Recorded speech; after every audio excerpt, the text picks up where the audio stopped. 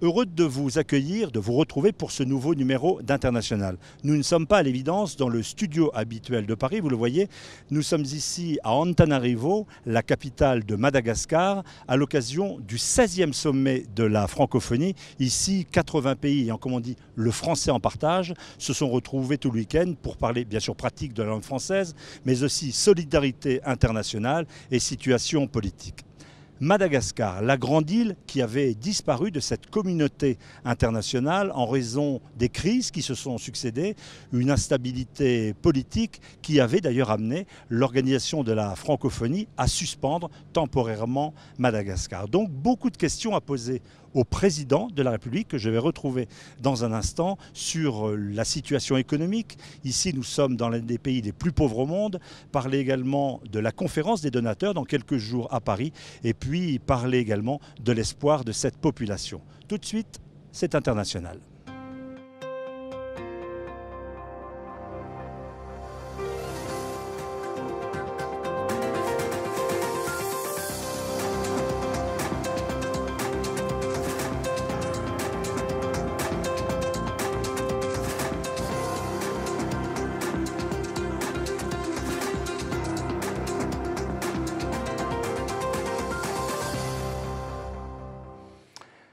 Notre invité, je vous le disais, le président de la République malgache. Merci, monsieur le président, d'avoir répondu à l'invitation d'International. Merci, monsieur Razaruna Rimampian. Euh, vous accueillez donc, euh, vous avez accueilli ce week-end le sommet de la francophonie. C'est un événement important.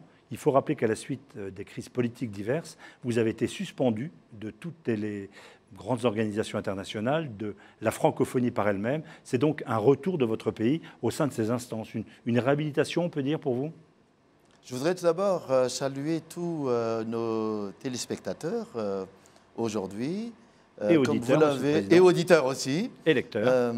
absolument. c'est un retour, c'est une, une bonne consécration, je dirais, parce que comme vous l'avez si bien dit tout à l'heure, Madagascar a été pendant plusieurs années mise au banc de la communauté internationale. Nous avons été... Par sa gouvernance médiocre nous avons été sanctionnés. Euh, donc c'était des crises répétitives hein, mhm. euh, depuis euh, plusieurs décennies. c'est devenu répétitif à, chaque 10 ans, 7 ans, si bien que ces crises ont duré de plus en plus de temps. Mhm. la dernière a duré pratiquement 5 ans. c'est pourquoi aujourd'hui, lorsque vous parlez de 16e sommet de la francophonie, effectivement, c'est un retour de Madagascar sur la scène internationale. Vous êtes vous-même élu depuis trois ans et c'est une période de stabilité politique. La stabilité, ça se travaille, ça s'acquiert euh, euh, tous les jours. Hein. Mm. On y travaille. Hein. Euh, on ne peut pas décréter une stabilité. je pense que c'est notre première priorité. Il faut une stabilité politique pour asseoir un véritable développement économique et social. Sophie. Monsieur le Président euh, Mampian, ce sommet, ça a été un véritable défi euh, pour vous à organiser. Est-ce que ça a été difficile au printemps dernier, à un moment donné? On a eu l'impression, il y a eu un moment où, de flottement où le sommet aurait pu échapper à, Madagascar Écoutez, qu'est-ce qu'on n'a pas, qu'est-ce qu'on n'a pas vécu? Qu'est-ce qu'on n'a pas vécu, même jusqu'au dernier moment? Euh, Le sommet va être transféré ailleurs, etc. vous savez, les médias, hein, on ne peut pas le, reprocher ça. C'est, euh, je crois que chacun a ses, ses, idées, mais nous y avons tenu. C'était un, véritable défi et euh, je crois qu'on a, on a tenu le pari. Euh, il y avait déjà des infrastructures en partie qui, qui étaient là. Donc, oui, parce que déjà, il aurait dû se tenir en, 2010. En 2010, effectivement. Et pour, à, cause de la crise, à cause de la crise, on n'a pas pu le tenir.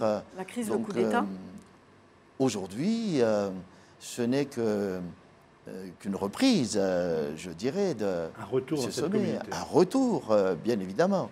Pierre Lépidier, Le Monde. Mais quel a été le principal défi, Monsieur le Président le, défi de la sécurité?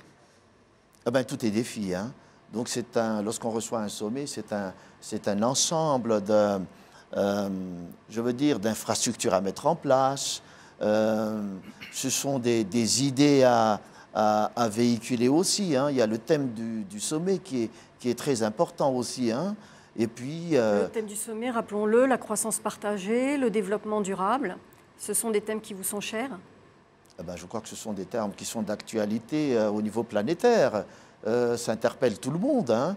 Donc, croissance partagée, lorsqu'on regarde le monde aujourd'hui, avec tout ce qui arrive de manière, de manière soudaine, de manière violente, quelquefois, on est interpellé. Monsieur le Président, la croissance partagée, c'est référence aussi aux catégories qui sont exclues du développement et qui sont exclues de l'accès aux richesses. Euh, on dit que certains, dans la population, il y a quelques critiques face au faste déployé pour ce sommet, alors que le pays, on le sait, un non, c'est trop dire, je crois. Je crois que les inégalités sont partout euh, dans, le monde. Hein.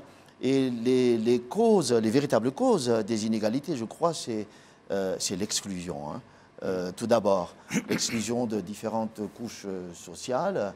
Et ce que je disais, euh, aujourd'hui, on a reçu euh, le sommet et euh, je le disais depuis le départ qu'on va recevoir ce sommet avec ce qu'on a et surtout avec ce qu'on est. Donc ce site que vous avez vu a déjà existé en partie. On l'a relooké comme, comme on dit, on l'a réhabilité, on l'a réaménagé un tout petit peu. Ce n'est pas un site qui, euh, sortait de terre, euh, nouvellement euh, construit. Hein.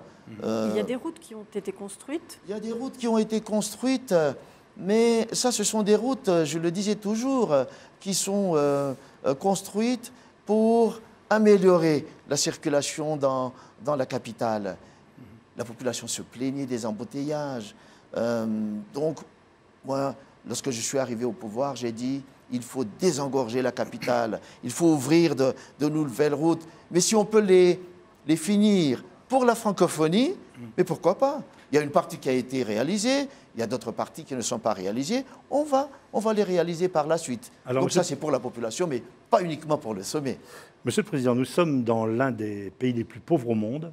Euh, un taux de pauvreté donc très, très significatif. Euh, qu'est-ce que vous attendez de cette communauté francophone? Euh, Quel type de solidarité, quelle aide? Il y a une impatience de la population à voir son niveau de vie, cette pauvreté en finir.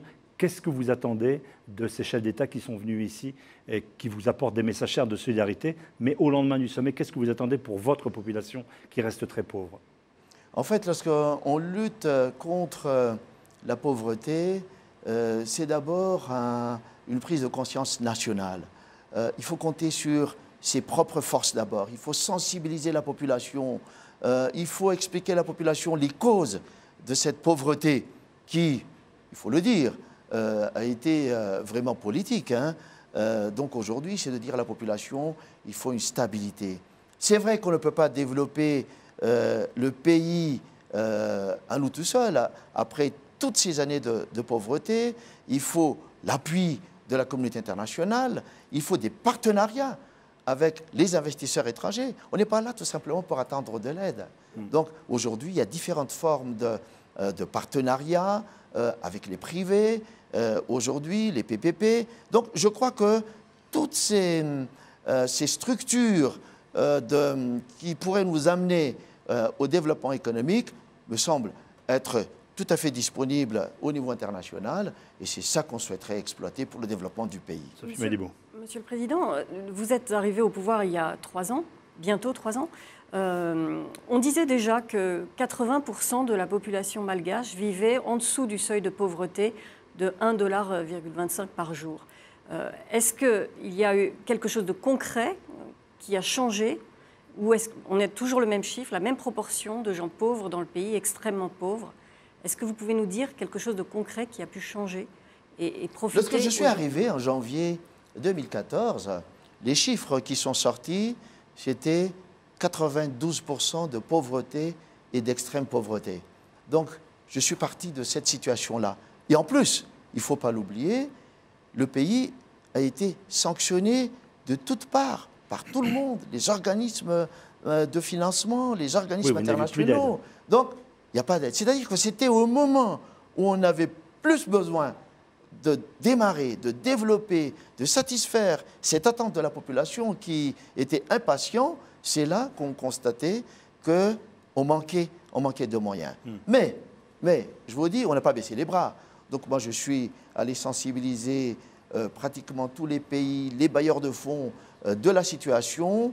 il faut enlever les sanctions d'abord. On a pris des mesures par rapport aux moyens dont on disposait à l'époque, surtout au niveau social. C'était là l'urgence. Mais il y a des au niveau, au niveau social, au niveau de l'éducation d'abord. Au niveau de l'éducation, au niveau de la santé, ce sont des actions sociales que nous avons effectuées immédiatement. Donc, les enfants qui étaient exclus des écoles, on les a remis dans les écoles. Pas tous. Euh, pas tous euh, la première année, mais au fur et à mesure, on a, on a amélioré les, euh, les effectifs. On a organisé des cantines scolaires pour les, pour les enfants. On a mis en place une politique de protection sociale pour financer l'entrée ou le retour de ces enfants à l'école. Donc tout ça, ce sont des actions euh, concrètes qui ont été réalisées pendant les deux années. On donnait des kits scolaires aux, élèves. Cette année, on a distribué à peu près 4 500 000 de kits scolaires aux élèves des établissements publics du niveau primaire. Donc tout ça, à mon avis, ce sont des, euh, des appuis euh, qu'on a apportés à la population. Pierre Monsieur Razonandri Mampian, Aujourd'hui, dans le sud du pays, il y a une sécheresse qui est terrible et il y a 1 400 000 personnes qui sont menacées euh, par la faim. Qu'est-ce que vous entendez faire? Qu'est-ce que vous allez faire très concrètement pour ces gens? Le FAO tire la sonnette d'alarme. Qu'est-ce que vous allez faire? Je voudrais tout d'abord vous dire que cette situation dans, le sud a été une situation chronique hein, depuis euh, très longtemps. Donc, politiquement, le sud a été délaissé pendant des décennies. Face à la situation, qui est une situation qui découle aussi hein, euh, de, euh, des changements climatiques, parce qu'il y a le phénomène euh, El Nino qui est là. Donc, nous, nous avons préconisé, moi personnellement, j'ai préconisé des mesures qui se déclinent en des mesures à court terme et des mesures beaucoup plus structurantes à long terme. C'est ça qui manquait. C'est ça qui manque. Et vous parlez de mesures structurantes, qu'est-ce que vous voulez dire? Le Sud a été complètement isolé pendant longtemps. Donc même pour acheminer les vivres, pour acheminer l'eau, pour euh, euh, discuter avec les populations, euh, donc cette population a été enclavée, les régions étaient enclavées, la population a été fermée et enfermée sur elle-même. Donc moi je crois qu'aujourd'hui, il faut créer des routes, des infrastructures. On a commencé à apporter de l'eau, de l'énergie. Euh, on a apporté aussi euh, du système de, soins à travers des centres euh, de, soins. On a développé des écoles. On a apporté des cantines scolaires aux, élèves. Et je pense que c'est à partir de, là qu'on va pouvoir solutionner petit à petit le problème du Sud. Vous parliez de l'énergie. Prenons cet exemple. on sait que la Girama, la, la, la société qui, d'électricité euh, est un véritable gouffre financier et que les délestages sont euh, extrêmement fréquents pour l'ensemble de la population dans tous les endroits du pays, qu'il y a 15% de la population qui a accès à l'électricité. Comment euh, est-ce possible qu'au bout de trois ans, on en soit toujours dans, dans Moi, je me suis posé la question comme vous. Comment est-ce possible qu'après 50 ans d'indépendance, on soit encore à cette situation? C'est un héritage alors qu'on a le soleil qu'on a, on a les cours d'eau qu'on a, on a le système éolien qu'on a, comment peut-on imaginer et admettre qu'aujourd'hui, 70 à 75% de notre électricité soit encore produite par du système thermique C'est inadmissible. Vous avez misé sur le renouvelable Mais on a commencé à changer. Nous sommes euh, dans ce que j'appelle euh, une période de transition énergétique nous avons lancé de grands appels d'offres sur euh, la production de l'hydroélectricité à travers donc les, cours d'eau. On en a plusieurs aujourd'hui. On n'utilise à ce niveau-là que 5% de notre potentiel. Maintenant, avec cela, euh, j'ai institué ce qu'on appelle le système hybride, c'est-à-dire qu'avec les, groupes euh, qu'on utilise aujourd'hui au fuel ou euh, avec du gasoil, on va coupler ça avec du solaire. Donc pour réduire la consommation et pour avoir de l'énergie renouvelable. Sachez qu'on milite pour ces énergies renouvelables. Donc on est en transition vers ce que j'appellerais une indépendance énergétique avec des énergies à quel horizon, monsieur renouvelables. Le à quel horizon Ça commence déjà dès maintenant, mais je pense que ces, ces grands, grands travaux vont se terminer d'ici 3-4 ans, mais d'ici là, on a des solutions déjà pour pouvoir satisfaire la population en matière de fourniture d'électricité pour réduire euh, ces délestages qui aujourd'hui sont à, à, mmh. caractère économique. Hein. Donc le système technique euh, est là, mais c'est le coût parce qu'on utilise du gazole, on utilise euh, du fioul lourd et pire encore, on utilise plus du gazole que du fioul lourd jusqu'à mmh. présent. C'est pourquoi je dis maintenant, on est dans les solutions. C'est vrai, on subit encore ces, ces, situations très difficiles. Hein, est-ce que cela fait partie de vos priorités? Quand vous allez voir euh, la semaine prochaine à Paris, il y aura réunion des bailleurs de fonds, des donateurs. Euh, ils se sont engagés euh, à verser des, dizaines, des centaines de millions de, dollars d'aide ou de prêts pour faire décoller votre économie. quelle est la priorité? Qu'est-ce que vous allez mettre en avant? Il y a quelques priorités. Hein. En fait, tout est priorité aujourd'hui. mais... les priorités des priorités, c'est de savoir qu'il faut partir de la base d'abord. Hein. 80% euh, de la population travaille dans le secteur agricole. Et cette agriculture à Madagascar est toujours restée une agriculture archaïque, orientée vers l'autosubsistance, l'autoconsommation. Mhm. Donc la productivité est très basse. Donc mon objectif, c'est d'amener cette agriculture vers une agriculture marchande, orientée marché, et orientée aussi vers l'agro-business. Donc on est là, les marchés sont là. Dans la zone océan Indien, il y a un déficit en produits alimentaires. Dans la zone du Comesa, en Afrique et même dans le monde, on a un déficit. Donc les marchés sont là. Il faut que notre secteur agricole s'adapte à ces marchés qui sont là et qui sont très prometteurs. Monsieur le Président, vous l'avez dit vous-même, tout est prioritaire. Euh, vous parlez de l'électricité, de l'éducation, de la santé quels sont les, points importants que vous allez euh, mettre euh, sur la table des négociations, donc dans quelques jours à Paris, pour euh, obtenir ces, prêts ou ces dons de la part d'instances internationales? On commence par quoi quand tout est urgent? On commence par l'agriculture, parce que comme je vous dis, c'est là où on a besoin de développer la productivité, de, de développer la croissance économique. On parle aussi d'énergie. L'énergie, c'est un levier de, ce développement. On parle d'infrastructure, on parle d'infrastructure et on parle du, tourisme. Vous dites industrie, mais le tourisme, c'est l'industrie touristique. Il y a aussi les mines hein, qui sont là et qui euh, apportent aussi, euh, euh, je veux dire, un, développement. mais je crois que sur le plan économique, agriculture, énergie, infrastructure, allons dire tourisme, ce sont les dossiers prioritaires. Ce sont les dossiers prioritaires. Mais à côté, il y a le social, hum. donc l'éducation et la santé. Et ça, tout ça, ça donne un autre, un autre pays dans combien de temps? Mais ça a commencé déjà. On a déjà commencé. Comme je vous l'avais dit euh, tout à l'heure, euh, au niveau de, euh, du social, au niveau de l'éducation, on a apporté déjà des cantines scolaires, Votre la protection population sociale. vous le savez. Mais vous savez, on ne peut pas tout résoudre en une journée. on ne peut pas pousser la population comme ça en disant je suis là, donc euh, je suis là pour résoudre en un jour euh, des crises qui se sont incrustées dans la société pendant 50 ans.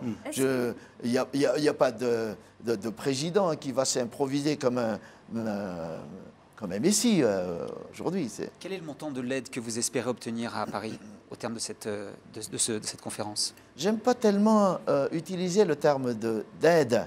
aide sous forme de don, ou en tout cas, comme je vous l'ai dit, il y a toute une panoplie. Hein de, support euh, qu'on pourrait euh, avoir, qu'on pourrait monter aussi.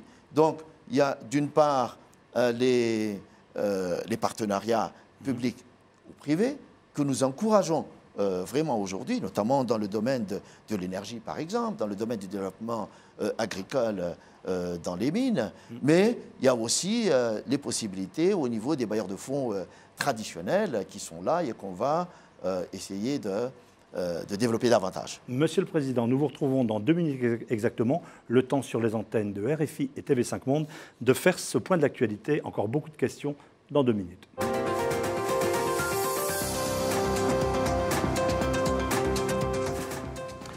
Retour à International, TV5 Monde, RFI. Émission réalisée en liaison avec le quotidien Le Monde. Nous recevons aujourd'hui Monsieur le Président de la République de Madagascar. Monsieur le Président, juste avant cette pause, nous évoquions une importante réunion qui va avoir lieu à Paris, euh, la conférence des, donateurs. Vous savez que sur l'engagement d'un certain nombre d'institutions financières, il y a l'attention portée à la gouvernance d'un pays et les accusations qui sont parfois lancées sur une corruption qui persiste au sein du système politique et économique euh, prévalent toujours. Que répondez-vous à cela? Et naturellement, Madagascar ne serait pas le seul pays à subir aujourd'hui de telles accusations. Ah ben, je vous remercie d'abord de, cette observation. Euh, je crois que euh, je l'avais déjà annoncé euh, depuis mon investiture. la première lutte que je devrais mener, que j'ai menée, que je mènerai encore avec toutes mes forces, c'est la lutte contre la corruption. Et c'est avec cela qu'on peut amener la bonne gouvernance dans le pays. C'est dommage, c'est malheureux, mais je crois que la pauvreté est aussi un terreau euh, fertile pour la, la corruption. C'est pourquoi il faut lutter contre cette pauvreté. Il faut mettre en place des projets structurants pour le développement économique, donc avec un développement et une croissance durable. C'est comme ça seulement qu'on va pouvoir lutter contre cette corruption. Donc euh, c'est vraiment euh, une de mes priorités. Une question plus précise justement sur ce sujet de la corruption. Il y a un dossier qui est bien connu, c'est celui de, la vente interdite d'un bois précieux qui est le bois de rose. Il y a le régulateur euh, international des espèces en danger qui pointe du doigt Madagascar et qui dit non, rien n'est fait, le bois de rose continue d'être trafiqué et il y a même de, hauts responsables qui sont sur une liste dont vous auriez euh, possession et personne n'est condamné. Qu'est-ce que vous répondez à cela? Pourquoi? Est-ce que la justice ne va pas jusqu'au bout? Que il, faut, avoir un bon discernement, madame. Hein. lorsque vous dites vous avez une liste, euh, lorsqu'on vous balance une liste, je suis désolé d'être très cru en, vous disant des choses comme ça, euh, ce n'est pas parce qu'on vous donne une liste que vous allez y croire profondément. Euh, mais la justice peut enquêter. Euh, mais la justice euh, peut enquêter et laissons la justice faire son travail. Ça, je crois, c'est c'est bien important. Mais ce que je voudrais vous dire, et ça, c'est un, c'est du concret, c'est une évolution dans ce cadre-là en parlant de bois de rose, c'est que cette année, cette année, j'ai lancé le défi qu'on va réduire vraiment ces exportations de bois de rose et il n'y en avait pas cette année, jusqu'à aujourd'hui où l'on parle. Donc, c'est quand même un effort. il, y a, eu une euh, affaire retentissante lorsque une énorme cargaison a été saisie à Singapour. Un procès a commencé et votre pays, vous étiez, euh, appelé à témoigner, mais, mais a refusé finalement de, de, témoigner. Je ne crois pas qu'on ait refusé de témoigner. C'est euh, un président de la République pour défendre les intérêts de son pays ne, lâchera pas euh, prise euh, facilement comme ça. Je pense que le dossier suit son cours et euh, tant et aussi longtemps qu'on peut attraper ces, ces, gens qui ont volé, parce qu'ils ont volé, ils ont massacré d'abord notre, notre patrimoine, ils ont volé notre patrimoine et, veulent s'enrichir sur notre dos, donc nous allons toujours nous batailler. Monsieur le Président, vous avez pendant ces deux jours, d'une certaine façon, euh, fait appel à cette forme de solidarité euh, de la francophonie. Quand on se promène dans votre pays, on voit que la Chine est très présente. Beaucoup de constructions, euh, des terres agricoles qui, sont cédées à la Chine. Est-ce que vous ne misez pas plutôt sur l'Asie, d'ailleurs relativement proche d'ici, plutôt que sur l'espace francophone, peut-être moins efficace à vous venir en aide? Il n'y a pas d'exclusivité ni d'exclusion. Euh, on n'a pas donné de terres agricoles aux Chinois. Hein. Il faut, il faut que je vous corrige par rapport à ça, parce que ça, ce sont des idées qui sont véhiculées euh, euh, par-ci et par-là. Tous les investisseurs sont traités de la même manière à Madagascar. La Chine est présente comme les autres pays. Et laissez-moi vous dire qu'en termes d'investissement, ce n'est pas la Chine qui est le premier investisseur à, Madagascar. C'est un pays euh, francophone. Euh, le Canada en l'occurrence le, Canada en l'occurrence. dans le cadre des investissements miniers. Mais laissez-moi vous dire que aujourd'hui, Madagascar, comme j'ai dit, est un pays d'opportunités. On a besoin d'investissements, on a besoin de financement. Donc, tous les pays, tous les investisseurs de tous les pays d'ailleurs, sont invités à venir profiter de ces opportunités dans le cadre de respect euh, de la souveraineté d'un pays et bien évidemment dans le cadre euh, du respect de, l'état des droits. Oui, justement, je voudrais y revenir à, l'état de droit. Euh, est-ce que vous estimez que la nouvelle loi qui, qui, a été adoptée et promulguée même cet été, au mois d'août, sur la pénalisation de la presse est une bonne chose pour la transparence alors que les investisseurs, quand ils viennent dans un pays, ils aiment savoir exactement ce qui se passe, ils aiment que la presse puisse faire son travail. Donc il y a eu ce projet de loi qui a été promulgué qui va inciter les journalistes à l'autocensure, car tellement de choses sont interdites et passibles de, procès. Est-ce qu'on parle d'un même document, d'une même loi parce qu'il y, a beaucoup, parce qu'il y a beaucoup qui parlent d'une loi qu'ils n'ont jamais vue, qu'ils n'ont jamais ah, lue. Euh, mais laissez-moi vous dire que cette loi, a été fait par les journalistes. Ils ont travaillé dessus avec des experts. Donc, les journalistes disent aujourd'hui que mais quel journaliste, Monsieur le Président, le la francophone a tenu ses assises dans votre pays. J'y étais. Vous y étiez. ouvert. Et c'est ému, et ému d'une forme d'autocensure instituée par cette loi. Les journalistes du monde entier. Je ne crois pas. Je crois pas. Je pense que je vous engage à lire euh, cette loi, à prendre connaissance profondément euh, de cette loi et faites une analyse comparative par rapport à d'autres lois, par rapport à certains pays même qui se disent très libérales. Nous avons dépénalisé la presse au niveau de l'emprisonnement. Et, hein. il faut que la presse il faut que la presse, il y a des amendes, partout, par exemple, il y a des amendes. partout dans le monde, mais il y a des amendes partout dans, euh, dans le monde. C'est pas, seulement, pas seulement à Madagascar. Euh, c'est partout dans le monde euh, qu'il y, a, qu'il y a cela. C'est pas seulement à Madagascar. Et moi, laissez-moi vous dire que nous, nous avons élaboré cela avec les journalistes. C'est plutôt eux qui ont élaboré ça. Le gouvernement a examiné ça, a apporté des, des ajouts par rapport à la responsabilité de l'État, parce que l'État a des responsabilités. Hein. Donc, il y a la responsabilité pour l'ordre public, euh, pour... Euh, Mais si euh, aujourd'hui la presse s'en émeut et vous demande de revoir, parce que... La, il y avait déjà eu des discussions, madame. On a déjà eu un espace de discussion pendant pratiquement un an et demi. Laissez-moi vous le dire. Peut-être qu'on vous cache ça. On a eu un espace de discussion et les discussions étaient ouverte jusqu'au dernier moment. Vous êtes formel, la presse est libre.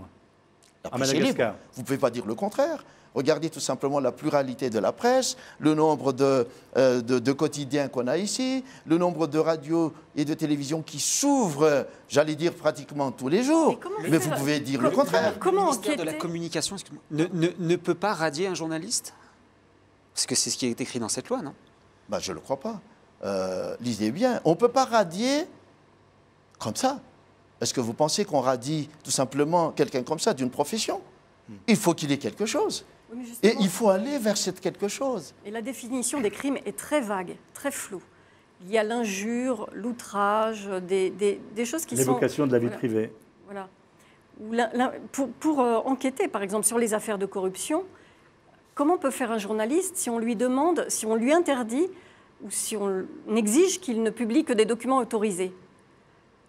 Écoutez, dans le journalisme d'investigation, cette loi, comme je vous l'ai dit, euh, s'était inspirée euh, de différentes sources euh, qui existent dans le monde entier, en Afrique, en France, aux États-Unis. Donc, ce sont toutes ces sources-là qui ont été utilisées pour élaborer cette loi. Donc, pendant les discussions, ces points-là ont été, soulevés. Hmm. Il y a par contre un engagement que j'ai réalisé. C'est vraiment l'abolition de l'emprisonnement. C'était la première discussion que nous avons eue. Il faut abolir l'emprisonnement. Au même titre que moi, j'ai aboli la peine de mort, donc on l'a fait. Hmm. On sait très bien que dans plusieurs pays, il y a encore la peine de mort. On n'en parle pas. Hein. On n'en parle pas assez. Monsieur le Président, si on essaie d'élargir à la situation internationale, des élections sont produites, euh, qu'est-ce que ça change pour vous l'arrivée de Donald Trump aux États-Unis?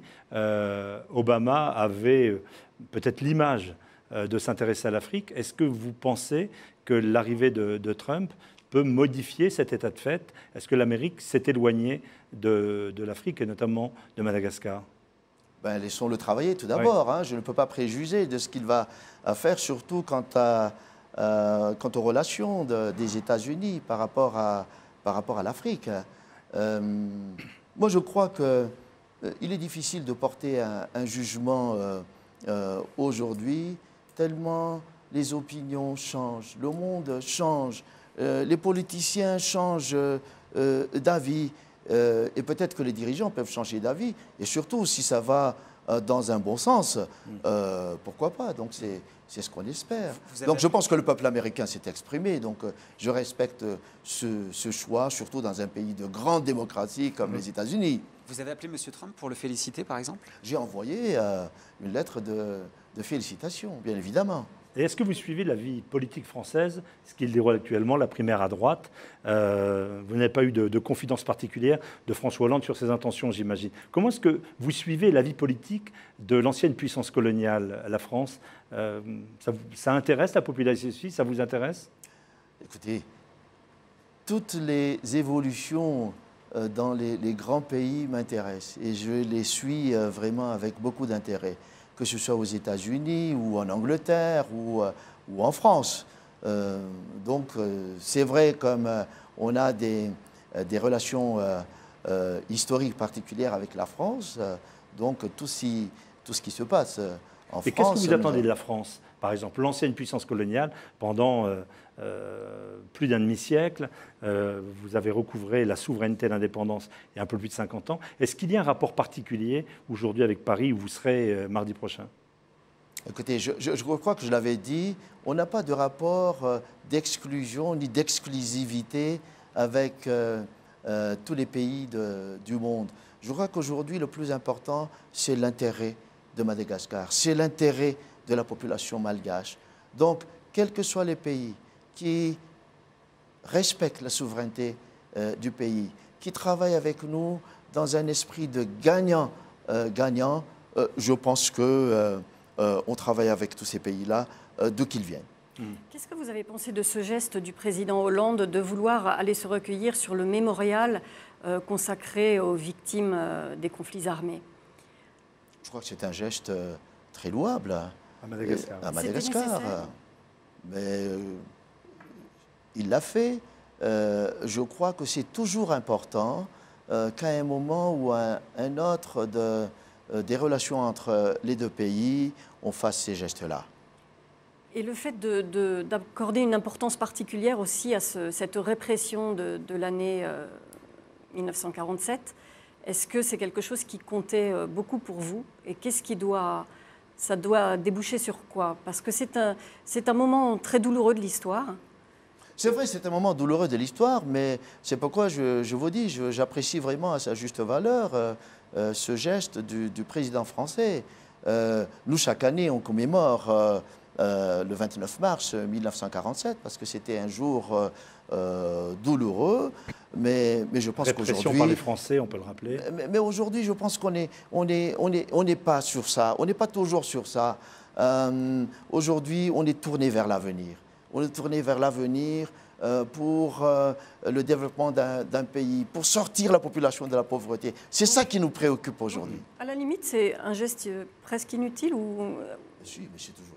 Et quand, On ne dit pas que c'est inutile, c'est mm. toujours un, geste euh, utile, hein, je, dirais, hein, que chacun pourrait apprécier à, sa façon. Quand vous entendez la, la façon dont M. Fillon, qui, lui est candidat bien placé aux prochaines présidentielles, euh, sa façon de, considérer euh, le problème de la repentance, qu'il ne faut pas justement euh, faire ce genre de ce type de, de geste, qu'est-ce que, qu'est-ce évoque Écoutez, je ne peux pas préjuger de, de sa, perception de, de, certaines situations comme cela, mais je crois que, comme je vous dis, chaque politicien, mm. chaque euh, personne euh, à sa façon d'appréhender les, choses, je, je, les laisse libres d'apprécier ces gestes-là. Pierre Lépidi, Le Monde. Monsieur le Président, on peut difficilement évoquer les relations entre la France et Madagascar sans parler des îles éparses, donc ces cinq îles qui sont situées autour de Madagascar et qui appartiennent aujourd'hui à la France, mais que euh, Madagascar revendique. Où en est la situation? Où en est le dossier aujourd'hui? Le dossier aujourd'hui est au stade euh, de discussion. Hein. Euh, donc nous avons déjà eu une première rencontre à Paris entre les responsables français et des responsables malgaches. Nous poursuivons encore ces discussions. C'est ce que je peux vous dire aujourd'hui. Vous avez l'espoir de les recouvrer un jour ou l'autre? Ben Écoutez, c'est notre objectif. Hein. Donc il faut amener les deux parties à, à cet objectif-là. Euh, vous savez très bien que c'est une question qui a été débattue depuis très longtemps, depuis 1979 à, à l'ONU. Euh, aujourd'hui, euh, on le remet sur, sur la table et, et je pense que c'est important effectivement qu'on en discute. Pourquoi êtes-vous si attaché à ces îles, monsieur, le Président? Elles ne sont pas peuplées, on le rappelle. Oui, parce que ces îles euh, euh, sont euh, situées à proximité du pays. ces îles ont toujours été considérées comme appartenant à Madagascar. Il y a beaucoup de pêcheurs qui vont dans ces îles, hein, même s'ils n'y habitent pas.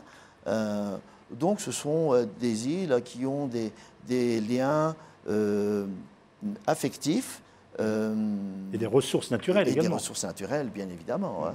Donc, qui crée des liens affectifs, je dirais. Hein.